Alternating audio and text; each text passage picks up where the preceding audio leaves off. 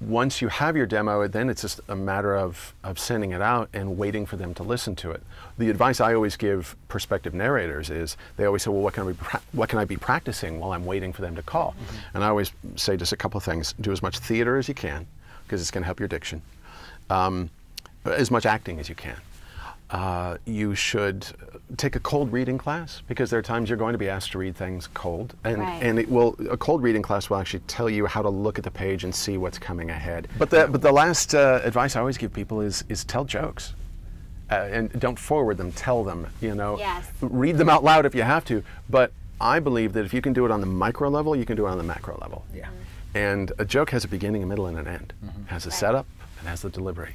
You know, and and those are things that that newcomers can can be practicing until they're waiting for the publishers to call them.